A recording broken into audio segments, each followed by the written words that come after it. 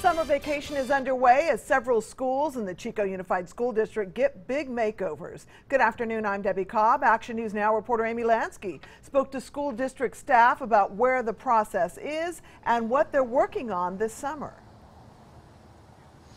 Debbie, I'm here at Neal Dow Elementary where you can see there is some construction going on behind me, but it's not one of the only campuses being worked on right now.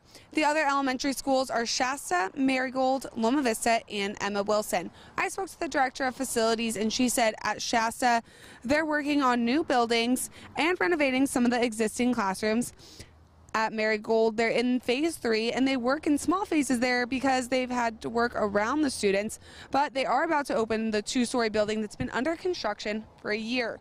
At Loma Vista, they're finishing up the parking lot. At Emma Wilson, they have started to add a kindergarten complex.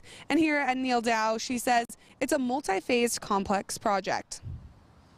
Where we're working on the administration right now and the multi-purpose, which are in two separate buildings as opposed to Marigold. And those will be completed before we start school next fall.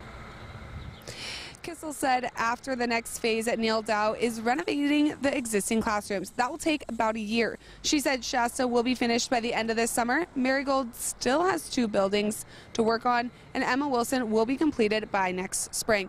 And coming up at 5, I'll explain to you how else that Measure K money is being used. Reporting from Chico, Amy Lansky, Action News Now.